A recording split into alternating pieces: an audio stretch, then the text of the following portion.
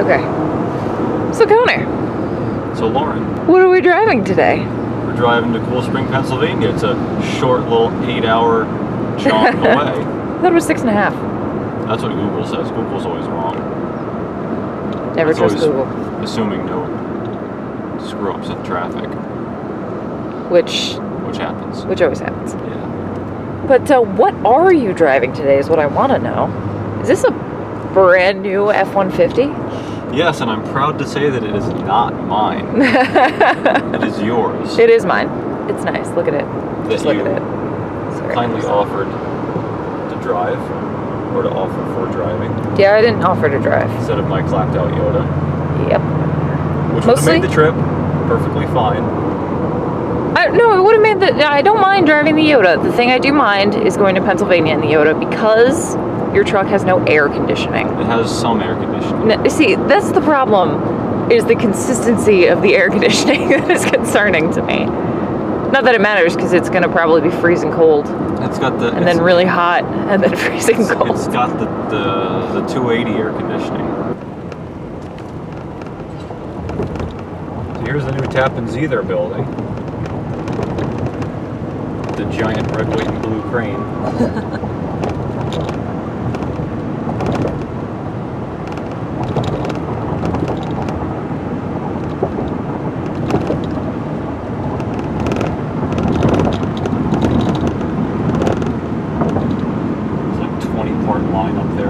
That's a lot of that's a lot of cable.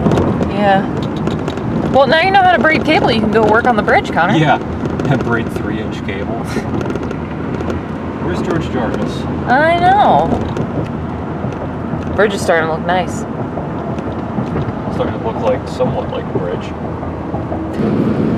All right, let, let's let's say that again. So, um, what what was the great thing about my truck? It's got a bigger gas tank than mine. Right. Right. So, so you would say it was a good idea that we drove my truck down here? Is that is that what you're saying? That my Ford is awesome? Let me just give you some more strokes on your ego about your truck. Okay. Couple couple more. Just, No. just maybe two more, three more, one more.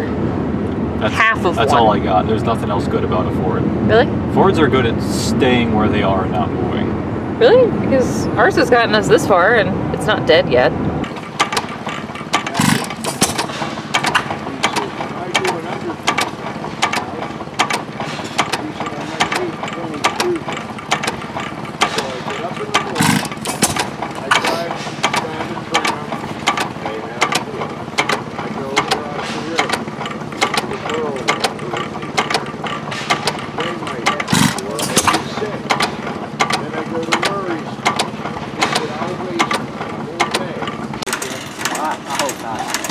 Thanks. See you later.